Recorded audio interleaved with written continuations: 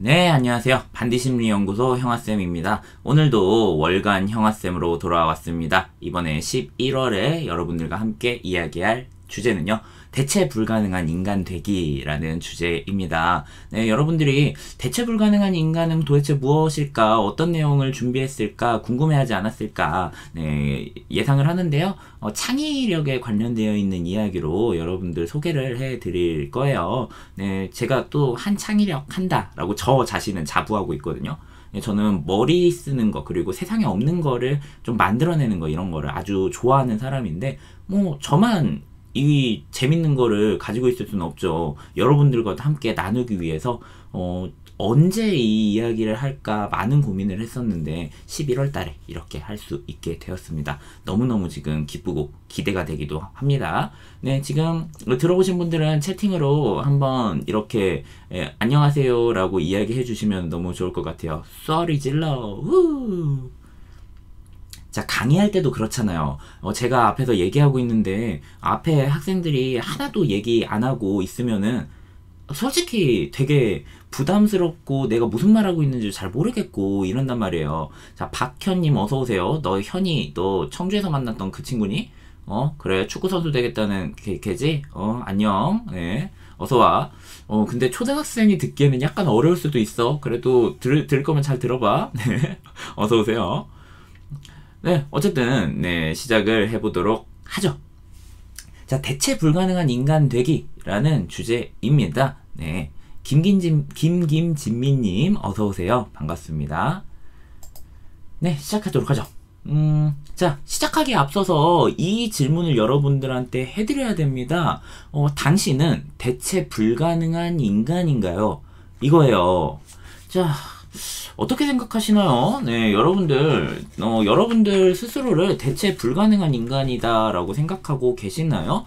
네, 채팅창에다가 여러분들의 생각을 써주시면 되겠고요. 어, 예, 아니오로 쓰기보다, 어, 이런 식으로 해보도록 하죠. 내가 대체 불가능한 인간인 것 같다. 나는, 어, 그 어떤 사람과도 바꿀 수 없는 사람 같다 하면 은 10점. 어, 아니야. 어, 그 대체 불가능해 나는 아 대체 가능해라고 하면은 빵점 해서 0점부터 10점까지 중에 점수로 한번 여러분들이 스스로를 생각하고 있는 거를 매겨보도록 하겠습니다. 네, 그 채팅창을 충분히 많이 활용을 해주셔야 어, 여러분들과 저의 소통이 잘 되면서 재미있게 강의가 흘러가더라고요. 8월 달부터 한 9월, 10월이 재밌었잖아요. 이제 참여해 보신 분들은 알잖아요. 네, 여러분들의 생각이 궁금합니다. 여러분들 여러분들의 대체 불가능 점수는 몇 점인가요?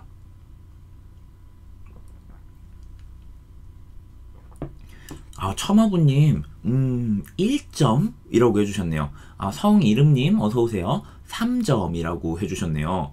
어, 음, 5점. 어째 2점씩 올라가고 있네요. 오, 진짜. 1, 3, 5, 7점. 저는 당당합니다. 짱짱님은 10점이다. 라고 해주셨네요.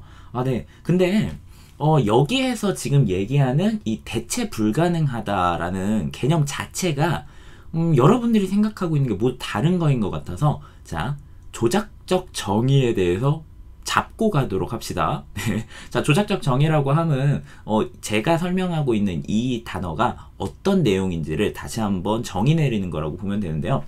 자 대체 불가능한 인간은 어떤 인간일까요? 여러분들의 생각은 어떤가요? 대체 불가능한 사람이다.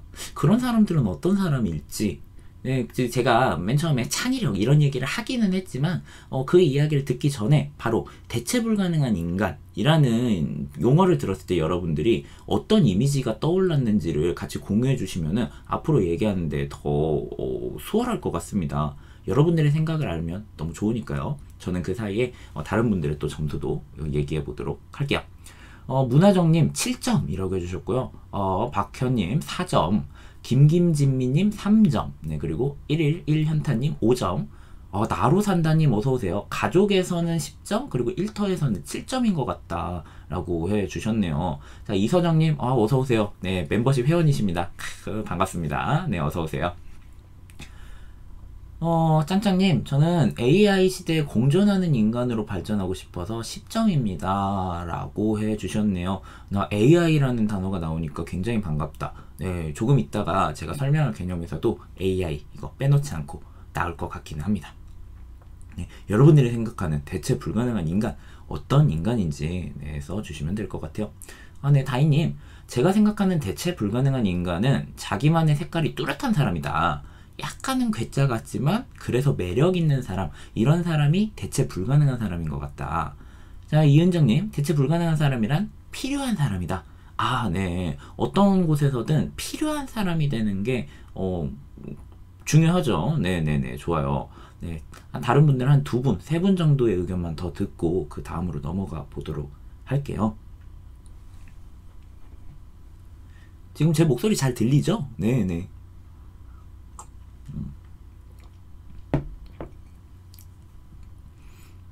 채팅이 멈췄네요. 역시 예, 객관식보다는 주관식이 작성하기 쉽지 않다는. 아 이서정님 소중한 사람을 말하는 것 같다. 네, 좋아요. 자, 조작적 정의부터 잡고 갑시다. 음, 고백하건데요. 사실 제가 오늘 이 11월 월간 형아쌤으로 준비했던 대체 불가능한 인간 되기라는 제목이 제 취향은 아니에요. 근데 이렇게 해야 어그로가 좀 끌릴 것 같고 관심이 가서 어 이거 무슨 강인가 이러면서 볼 것 같아가지고 제목을 이렇게 하기는 했는데요. 저는 사실 어떤 인간이든 대체 불가능하다라는 기본적인 네, 생각을 가지고 있습니다. 그리고 어 그렇다고 믿으려고도 열심히 노력을 하고 있기도 하고요. 네, 사실 그 인간 중심 상담에서도 나오듯 어떤 인간이든지 뭐 조건적으로 이 사람이 필요하다 필요하지 않다가 아니라 무조건적으로 뭐 이 사람의 존재 자체를 수용하는 그런 태도가 필요하겠죠. 상담사한테는 더더욱 필요하고 그냥 일반적인 사람들한테도 당연히 필요하고 권장할 만한 그런 태도일 텐데 자 여기에서 제가 앞으로 이야기할 대체 불가능이라는 단어는요 그 사람의 존재가 바꿔도 된다 안 바꿔도 된다 이게 아니고 그냥 능력적인 차원이다라고 보시는 게 훨씬 더뭐 좋을 것 같아요. 네, 능력적으로는 뭐 대체 불가능하다라는 이야기를 충분히 할 수 있겠죠. 자, 한번 들어보세요. 야, 어, 너, 어, 일 그따위로 할 거야? 너 없어도 대신할 사람 많아. 이렇게 얘기를 듣는 거랑, 야, 너 다시 한번 생각해봐. 네가 빠지면은 일이 안 돌아가. 어, 우리 너 너무 필요해. 라는 이야기를 듣는 거야. 자, 이 두 가지는 확연한 차이가 있을 것 같아요. 네, 안에 김정숙님 어서 오세요. 10점이요. 라고 써주셨네요. 반갑습니다. 네, 그쵸. 네, 여러분들도 지금 제가 전자로 말했던 거랑 후자로 말했던 거 느낌이 사뭇 다르죠? 네, 후자는 막 연봉 올라가는 소리가 점점 들리지 않나요? 이 사람이 아니면은 할 수 없는 일인 거야. 그래서 이 사람을 무조건 붙잡아 두려면 당연히 연봉을 높이 책정한다고 하더라도 오케이. 대신 어 당신이 우리들에게 조금 더 큰 이득을 줄 수 있다라는 확신도 있을 테니까요. 자, 이런 식으로 가는 겁니다. 자, 제가 지금부터 얘기하는 이 대체 불가능이라는 게 사람 사람의 그 쓰임, 어, 그 사람의 존재 이런 걸 얘기하는 게 아니고 정말 능력적인 면에서 내가 어, 뛰어난 사람이 되어보자 정도의 의미로 예, 받아들이고 혹시라도 곡해하지 말아주십사 하는 예, 부탁드리도록 하겠습니다. 네, 네, 시 작하기에 앞서서 여러분들에게 잔소리 한번 했었고요. 자, 이제 본격적으로 시작을 할 건데요. 네, 총 이렇게 준비가 되어 있습니다. 일단 첫 번째로 이제 제 월간 영화쌤 스타일 어느 정도 아시겠죠? 저는 어떤 이야기든지요. 그 시대의 문화랑 어울려서 최고의 의미를 가진다고 생각을 해요. 네, 아무리 재밌는 이야기더라도 남의 이야기면은 별로 끌리지가 않잖아요. 예? 근데 어, 재미없는 이야기라고 하더라도 나랑 관련되어 있는 이야기면 귀를 기울이고 그리고 뭐 좀 더잘 어, 듣게 되고 재미도 있고 이런 거이기 때문에 네, 여러분들이 이 이야기를 더 잘 듣고 동기 형성을 하려면은 이 이야기가 여러분들 지금 이 현대 사회에서는 어떤 식으로 적용이 되고 필요한가에 대한 이야기와 이해를 해야 된다라고 저는 확신을 하고 있습니다. 어, 물론 지루하다고 하시는 분들이 살짝 있어가지고 최대한 좀 줄여가지고 얘기할 거예요. 네, 어, 아시잖아요. 좀만 참아주세요. 제 이야기의 재미는 중반부와 후반부에 몰려 있다는 거 알고 계시잖아요. 네, 자. 현대 사회에서의 대체 불가능이란 과연 어떤 것일까? 지금 시대에 대체 불가능한 사람은 뭘까?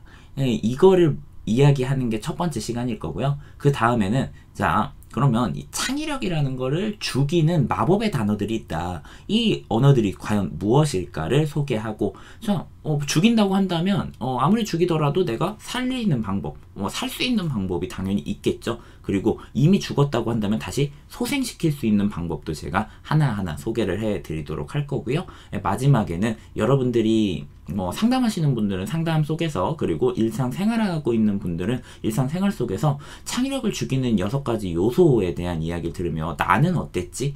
생각해보는 시간까지 여러분들에게 선사해 드리려고 합니다. 네, 그러면은 넘어가 보도록 하죠. 자, 챕터 1. 네, 대체 불가